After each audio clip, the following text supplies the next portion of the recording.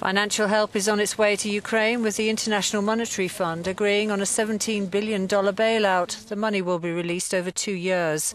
IMF chief Christine Lagarde admitted it was a gamble, relying on the country's government being able to carry out unpopular measures to get its finances in order. It's a program which has implementation risks. It's one where we are trying to mitigate the risk as much as we can.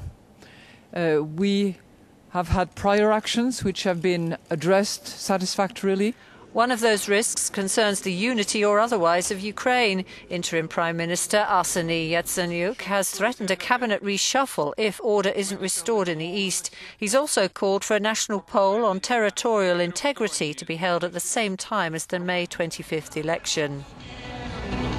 Outside the Cabinet Office, there was a small protest by demonstrators complaining about the government's inaction.